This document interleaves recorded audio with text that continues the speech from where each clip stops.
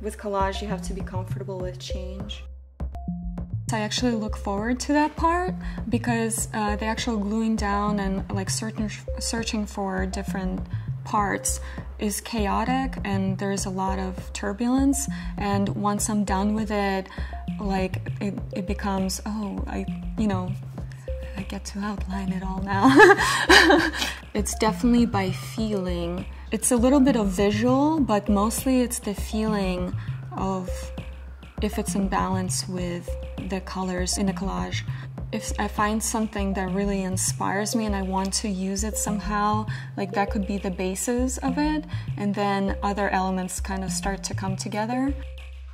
I think in college you go through a phase where you repeat a lot of things, you're learning a lot, but it very rarely I think people like kind of open up completely. But I was thinking back to college and I remember this one exact moment, one thought popped into my head like, I can draw anything, anything I want. You know, you'd assume that I would know that by then, but really it like it was completely different thought. I could really go anywhere there are certain things that, certain rules I'm still afraid to break, I feel like, but watching and learning from people around here, I really come to appreciate like, oh, I still have a lot of rules to break, and this is great. I love creating my space. I do it in a collage, but also it extends to envi my environment. You know, I could be doing other distracting things, but at the same time, I'm also going from one point to the next in my studio and just kind of revisiting certain things and seeing what talks to me, I guess, or what jumps out at me. I love to have music on in the background because it's a huge inspiration.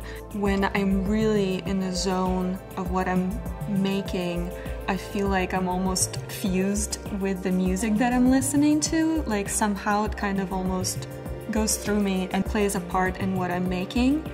And you know, very often I, once I glued something down and I'm waiting for it to dry and to move to another step, I, I dance a lot to like the music that I'm listening to. Um, yeah, it has a huge part. And, you know, I go through phases with music just like with, you know, art influences. All of them have a certain emotion or particular um, vibe that they get. So I feel like there's particular music that I'm drawn to when I'm working on a specific piece, um, and vice versa.